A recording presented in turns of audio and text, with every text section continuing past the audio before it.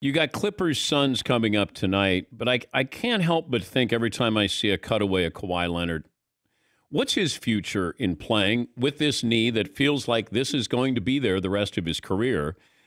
And does he want to be here? You know, it, I don't know. I, I he's he's a mystery here. He's up in the suite, not even down on the floor.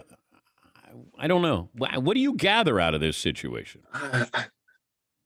he's a hard dude to figure out, right? Yeah. I, I don't think anyone knows but Kawhi. I, I'm sure his teammates know his intentions. And I'm not saying Kawhi's a bad guy. I love Kawhi, you know, from the same hometown. I love his demeanor. I love his game. But uh, look, a knee issue is serious.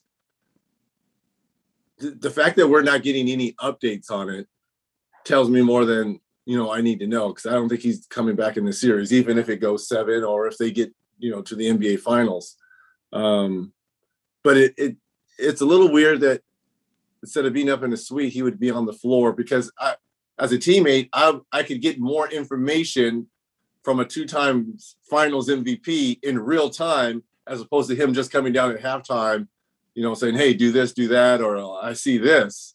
I would much rather have my MVP, you know, on the bench, you know, giving Paul George, uh, you know, giving Patrick Beverley, giving Terrence Mann, who's played unbelievable. I mean, Mann could really use a lot of these this information from Kawhi, but it is what it is. I mean, it doesn't diminish how great of a player he is. Yeah, but I don't know if I want to invest. Like the Clippers are invested in him, but do I want to have a guy who is, you know, there? There's he's high maintenance. Like you, you, you really have to gear for him for the regular season.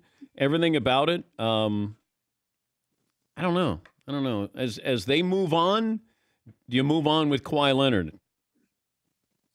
Well, if I'm a franchise, I'm moving on with Kawhi. Yeah. Okay. I mean, he's a when healthy and whole. Yeah, but I don't know if he will be. But you saw in that in that Dallas series alone, in the fourth quarter. Oh, I know. I shot, love it. I just don't know how uh, consistent that is, Reg. I don't know as they move forward. That knee's not getting any better. Feels like look, it's chronic. It feels like it's going to be there the rest of his career. What you want to do is manage Kawhi until you get to the playoffs, and knock on wood that he doesn't get hurt like he did now with no games and back to back. If he can stay healthy, his history has proven that he is a you know Hall of Famer, two time MVP type player, defensive player. So when healthy and whole, yeah. I'm rolling with Kawhi. You got to get him there. That's the problem. I know. You got to manage and get him there. Once you're, you're there, you let him take over.